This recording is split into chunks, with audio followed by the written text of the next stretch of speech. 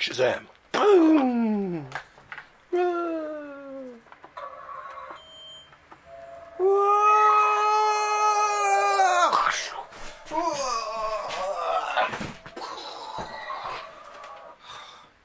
Oh, those rides get rougher. Every day they're uh, evil crusty. Sure do, Wallace. Uh, sure do, Wallace. Whew. Oh. oh my god. Once again. Live on tape from a secret, undisclosed location. Somewhere in the bowels of downtown St. John's, Newfoundland, snowbound as it is, comes in the Library of Graphic Literature with your host, me. yes? Okay. Yes, me, Wallace Ryan. Okay, um, a little bit early this week because, of course, last week we didn't get our uh, our uh, books because of the snowstorm and state of emergency here, but uh, they came in on Monday and uh, and I figured, uh, beautiful afternoon, why not? And also not not only about some cool books, and you know I figured I'm going to be doing another show this weekend anyway, so why not go for it? Okay, let's get down and dirty. Of course, first off, and one of the best ones. Ah, it's it's Macaulay Culkin Great from TwoMorrows, those fabulous people who bring us the Jack Kirby Collector and and back issue and other cool comic book magazines and such, comes Jack Kirby's Dingbat Love. Dingbat Love. Love. And this collects basically True Life Divorce, Soul Love, and the Dingbats of Danger Street. Of course, Dingbats of Danger Street, there was only one issue that published in the uh, first issue special series, and so these were are the remaining ones. Of course, Soul Love and True Life uh, Divorce stories, they come from the famous Speak Out series uh, that Kirby did, which unfortunately was hobbled by DC and a lot of stupid, stupid people. They did get two out anyway, and it was uh, uh, in the days of the mob and Spirit World, which, were pretty good. I, I liked them actually, the, especially the, in the days of mob, good old gang, gangster uh, things. But he had other projects that he wanted to do in the Speak Out series, and it included Soul Love, which is ironic considering that at the time, I guess he was what, in his 50s or 60s, 50s, I guess, doing 50. He even said something about a 50 year old Jewish man writing comics about African Americans. But he tried his best, you know. Let's give him that much. Uh, you know, it's it could be worse too, right? Uh, and of course, true life divorce stories. Very radical uh, for early 70s too, because the with the no fault divorce and all that at the time, divorces were skyrocketing in the states in the 70s. Uh, my parents got divorced in the 70s. Uh, a lot of my friends' parents got divorced in the 70s. So divorce was all the rage in the 70s. It was it was the big it was the uh, it was the big uh, it was the uh, it was a big fad at the time. And so uh, anyway, back to this. So the boys at TwoMorrows got together and dug up artwork, pencils, photocopies, and basically have reproduced as close as we could get to what these magazines would have been like way back then. What I like too is that they did a uh, a recreation of the Soul Love cover, which was kind of cool, by Alex Ross too, based on the Jack Kirby thing. But yeah, it was. Uh, these are all the stories there, including this one which I'd seen before.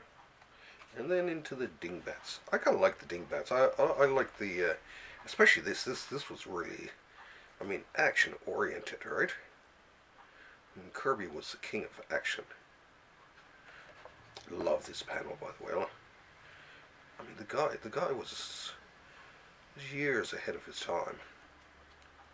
And of course, they got these really cool fold outs too with some of the original art on them. I mean, look at these characters. I mean, come on. Who comes up with characters like that these days? Birdly Maud. I mean, come on. The guy had an imagination we could only, the best of us can only wish for. So anyway, I can't say enough about uh, Dingbat Love. Mm, I, my favorite book so far. Mm, I'd lick it if I didn't, you know, if I knew it wasn't going to damage the book. But definitely a, a very kissable book. Uh, good old Dingbat Love. okay, let's move on here. So, uh, right off the bat, speaking of an, another book that I've been really looking forward to, and from a series that I collected and loved at the time. Of course, as some of you may know, I am a huge Batman fan, of course. Batman, I'm Batman, Batman, no, no, no, no, no, no, no, no, Batman. So, um, sippy, sippy, sippy. From DC this week comes the Batman Black and White Omnibus. Okay, calm down. Don't flip out. Yes, it is it. I mean, this, this, the, the people who, who, who draw on this, it's, it's, I mean, the amount of stories and just the people who, who contribute to this, it's like a who's who of, uh, of the comic book world, especially back in the, in the early, uh, geez, when was it? 2096 to 97. I mean, everyone from, let's see here, Ted McKeever, Bruce Timm, Joe Kubert, uh, Howard Chaykin, Jose Munoz, including Archie Goodwin, uh, Walt Simonson, Jan, Jan Strnad, and Rich Corben, of course, Kent Williams, Jorge Zaffino, Neil Gaiman and Bisley, Klaus Janson, uh, Liberatore, Matt Wagner, Bill Sienkiewicz, Teddy Kristiansen, and Dennis Denny O'Neil, Brian Bolland, Jan Stratton, Kevin Nolan, Archie Goodwin, Gary Gianni, oh, Brian Stelfreeze, Joe Duffy, oh, an Otomo one, uh, uh, Alex Ross, my buddy Ty Templeton, Steve Rude, Tim Sale. I mean, it just goes on and on. There's I could read through all of these, but I mean, there's there's just everyone seems to be here. John Bolton, uh, Chris Bachalo, Denys Cowan, Gordana. I mean, who isn't here? There's Moebius is here, Alan Davis, uh, Jason Pearson, Dan DeCarlo. I mean, my God, the play, the book is just jam packed, jam packed with batty goodness. Mm mm mm. Ooh. Oh, check out the of course, there's the there's the dust jacket, very nicely done, cover by Jim Lee, of course, and on the back here is a runs down some of the some of the other people. Oh, Paul Pope, I'd forgot about him, and Mike Mignola, Frank Miller, of course, Eduardo Risso, uh, Darwyn Cooke, of course, Mike Allred, Dave Gibbons. I mean, there's it's like everyone in the comic book world came out for this one. So it's it's definitely is is is a who's who uh, for uh, of, of, of the comic book world from the late '90s into the early 2000s. Some nice drawing. Uh, Barry Windsor Smith drawing the Batman there. Absolute. Oh oh God. Mm, oh, oh, beautiful. Absolutely stunning. Check this out now. Let's have a quick. Zzz, there's Teddy Kristiansen one, the Brian Bolland. Uh, looks like the Gianni. Looks like the Frank Miller there. So yeah, just and the great thing is they're all just great little short stories too, which is cool. So you get a little bit, you get a little taste for what, what uh, Batman would have been like done at the hands of some of comicdom's greatest artists absolutely stunning. I mean, look at this. It's so beautiful, just makes you want to lick every page. But yeah, stunning, stunning. And then a lot of covers back here, including this one in there by And then some. So, Batman Black and White Omnibus. This, this is a must-have. This you got to have. You must. You must. To uh, quote uh, Jack Kirby, don't ask, just buy it. So get out there and buy, buy, buy this one. This one. And, and Dingbat Love. Get out there and buy that one too. So, support uh, the boys, uh, the folks at uh, TwoMorrows. They deserve it. Okay, what else we got here? Oh yeah, and from Marvel, let's pop this baby open, is, this one's a, a little bit behind, but I saved it for this week.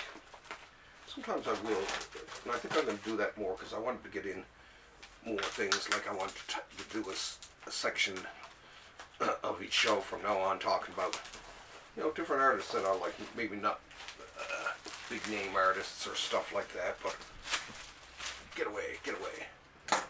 But you know, just just just, just great artists. Uh, now this, of course, is the uh, Incredible Hulk, the Peter David omnibus. Doom, doom, doom, doom, doom, doom. So, all the great.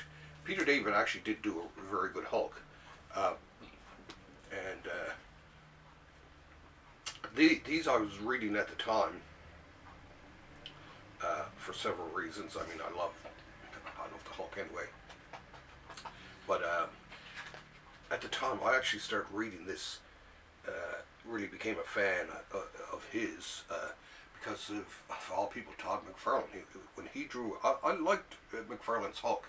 I mean, the scripts were great, the stories are great, and McFarlane. This really was what brought him to a lot of people's attention.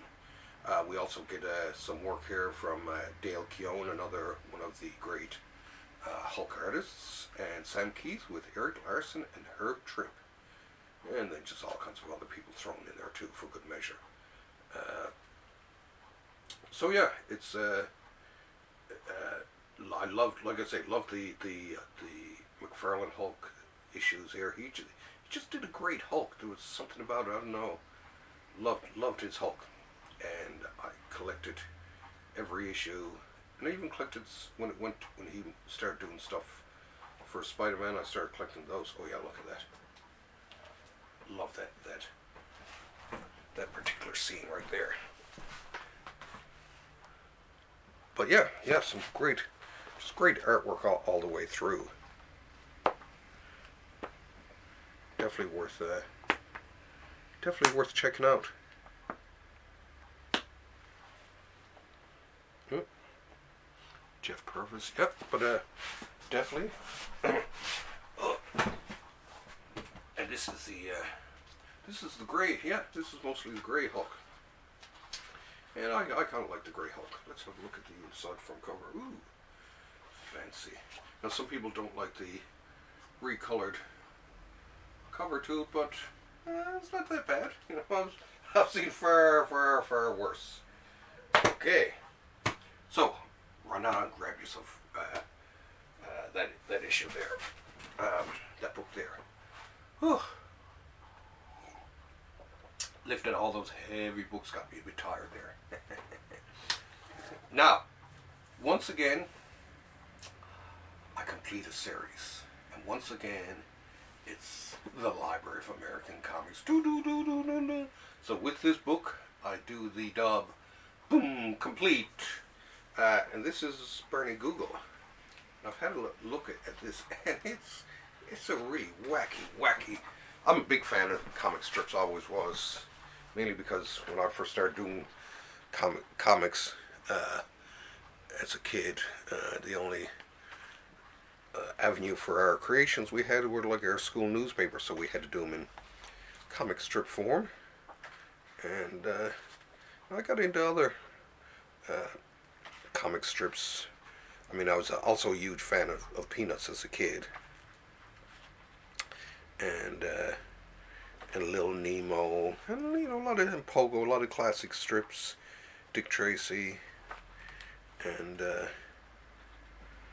so as I got older, I got more and more into them, and I got more and more too into the a lot of the more obscure ones and stuff like that. Because I mean, there was a lot of great art out there. I mean, back then too, uh, comic books were were the sort of dirty younger brother of, of comic strips. Comic strips was what people wanted to be back then in, in 30s and 40s. Everyone wanted to have their own comic strip. They they really, you know, to them they were they had it made, and and, and justifiably so because there were a lot of people who did comic strips who ended up to be stinking rich, and so. Uh, it attracted, you know, a lot. Of, it was a lot, and, and there was a lot of stiff competition uh, so the art had to be good uh, or inventive. The stories had to be interesting, and uh, so it was, it was, it was tough going. But meanwhile, of course, comic books just starting out. You know, you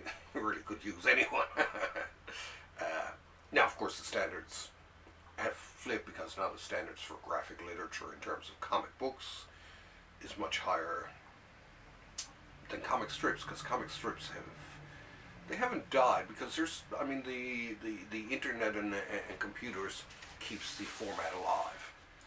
Anyway, now I'm going to do a, uh, a little uh, journey journey into the past. Do, do, do, do, do, do, do, with my time machine. now, um, actually, uh, today I'm going to uh, focus like a laser on uh, one of my favorite artists. I, and like I said before, I, I'm gonna at the end of most of my shows now. I think I'm gonna end off with a quick chat about one of my favorite artists, whoever it is. So they'll be different every every week, if I have time, and I do have time. I still have a few minutes left. Uh, and this this uh, week, of course, I've picked Joe Sacco. Joe Sacco was is revolutionary because he really, in my mind, really revolutionized comics in terms of the uh, uh, comics in the uh, as journalism.